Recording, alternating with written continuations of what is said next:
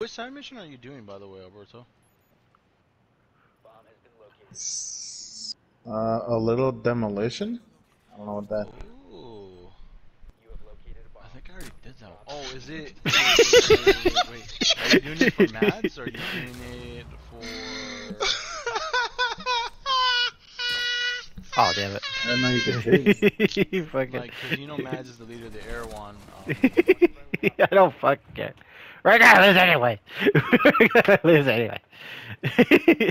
I was aiming at you from like start to finish. I was wanting you to l- uh, put down the phone. these guys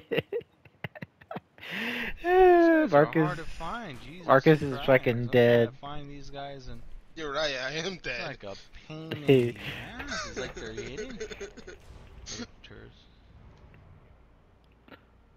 I'm gonna save that. Oh, I found your ass. All right. Where are you?